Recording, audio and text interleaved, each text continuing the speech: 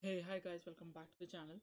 So in this particular video, I will be announcing a whole series on audio processing with the help of Python. So this is the introduction video.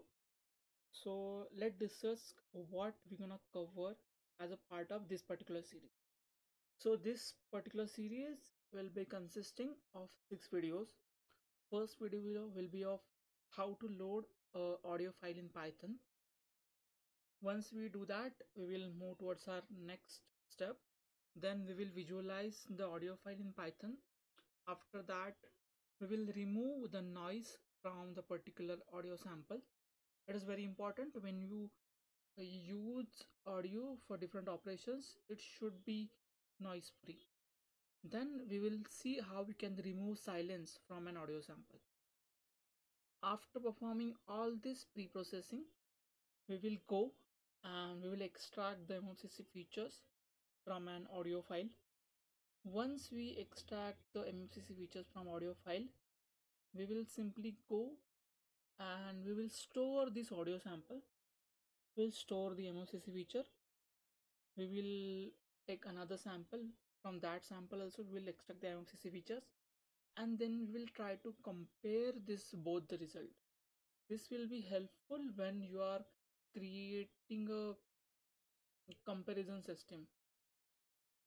Like you can say it is a like useful like biometric system. You compare to biometrics. Like the same here we are comparing two audio samples. So this will be our agenda for the upcoming series. So if you are not subscribed to the channel yet please subscribe I will be uploading all these videos soon.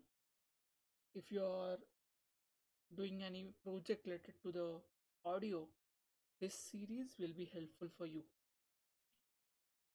Okay. The language will be Python.